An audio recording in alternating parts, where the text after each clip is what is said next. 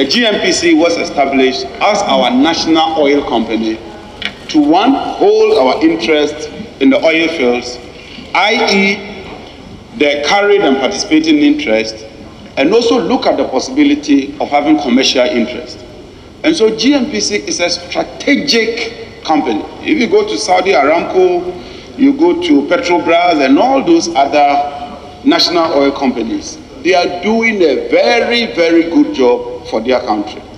And so in as much as I agree that GNPC may be veering off their core duty, if we can reposition GNPC and it becomes a profit-making entity, they can even give some dividend and some money to government to put into such other activities that we are talking about.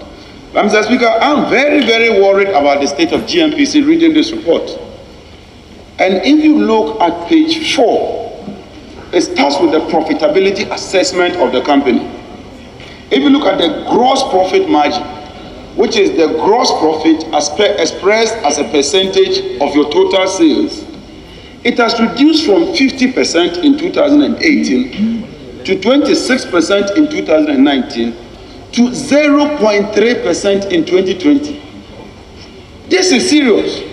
From 50% to less than 1%.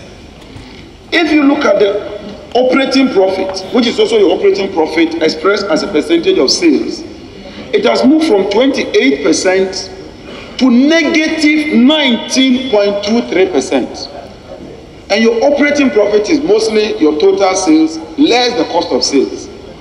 And so it means that compared to what they sold and what they bought, they've made a loss. Return on capital employed, that is the capital that you employ, everybody expects to make some return from the money that you employ into the organization. They are making, they are making a negative 16. So you are even better off putting that capital in treasury bills. Because you invest in order to make some profit.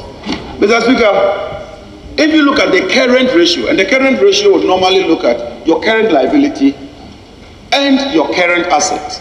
Because within a year, you ought to sell and you also ought to pay. Those that goes beyond a year are known as long term. But the current ones has to do with what happens within the year. It was 1.08, which means that you can cover your current liability and still have something. Today is 0.88. So when you take your total current asset and sell it and you go to pay your total current liability, you cannot meet that. Such a company is, is bound to collapse. The worst of all is even the asset test, because the asset test ratio deals with cash and cash equivalent. It means that today, if you move into GNPC and, and make noise that you want your money, bearing in mind that money doesn't like noise, bearing in mind that she can't pay the day, Mr. Speaker.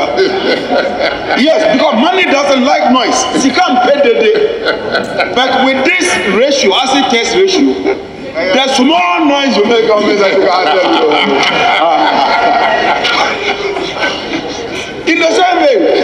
In as much as you can pay the with this ratio, you can also say that you can pay.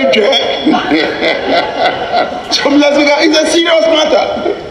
This company is on the verge of collapse, and something ought to be done about it.